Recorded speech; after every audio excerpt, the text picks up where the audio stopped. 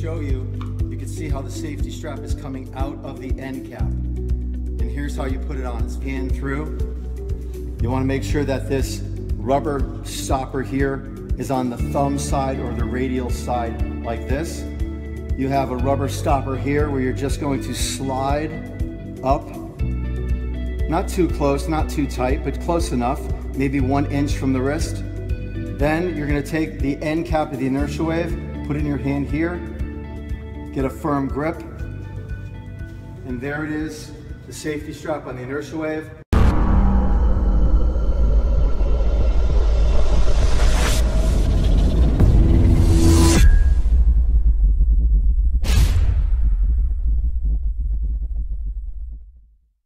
You're watching the inertia wave method.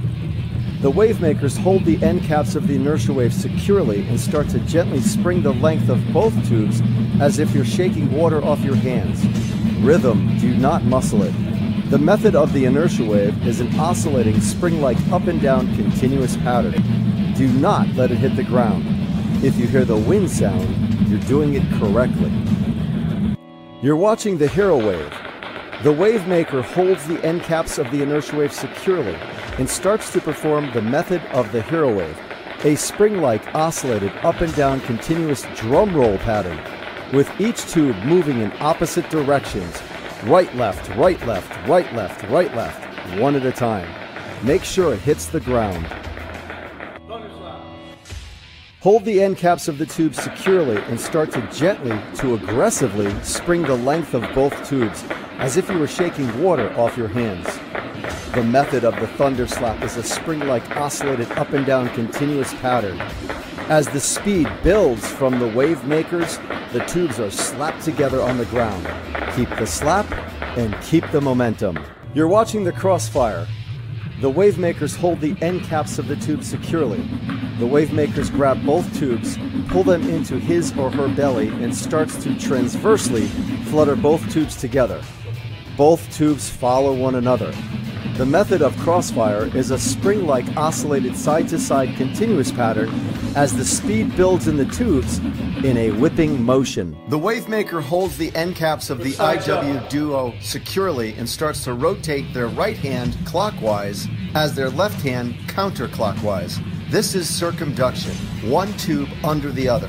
Whip it, stay strong in the wrist, and listen for that wind sound. Don't let it hit the ground. Double under is a spring like, oscillating large circle. You could also incorporate a side shuffle.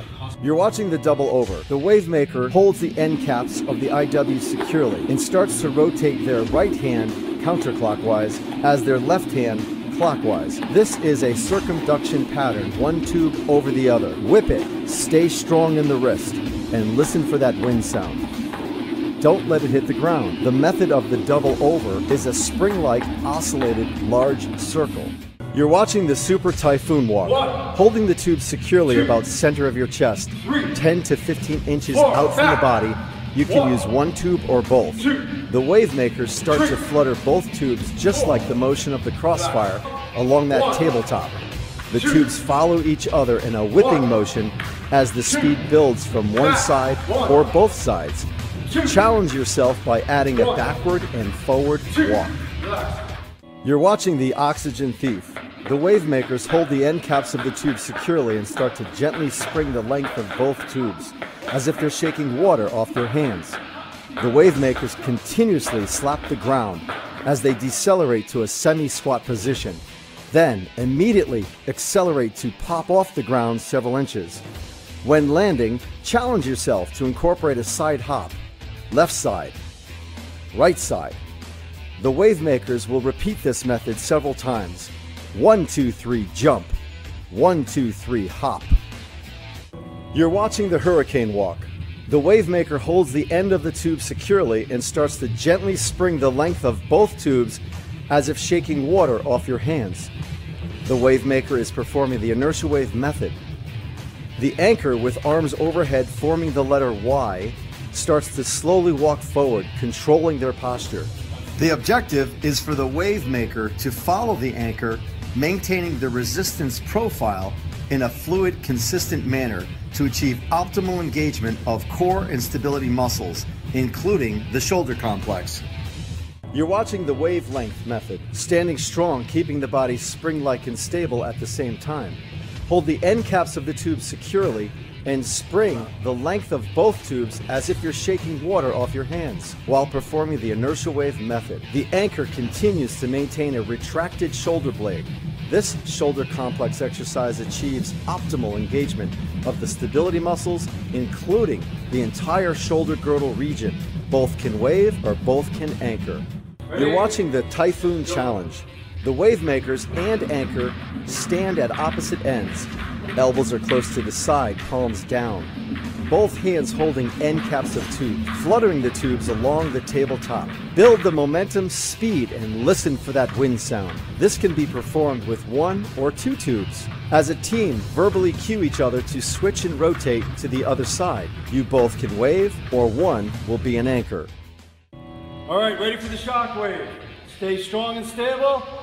Elbows are close to the side, both hands holding the end cap securely. On each other's verbal cue, start to flow the tubes across that tabletop, hands directly in front of the chest. Build the momentum, speed, and listen for that wind sound.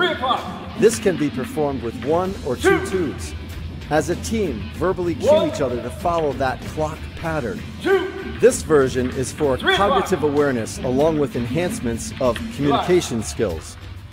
You're watching single leg wave. The wave maker starts to gently spring the length of both tubes, performing the inertial wave method. The anchor drives their elbows back and stabilizes. The anchor raises one foot off the ground where the thigh is parallel to the ground. Hold one, two, three, four, drop. Switch one, two, three, four. Repeat this several times. You're watching thumbs up inertia wave method standing. Both wave makers hold the end caps securely facing up, elbows high, shoulder width. Gently to aggressively spring the length of both tubes. Rhythm, do not muscle it, and do not let it hit the ground.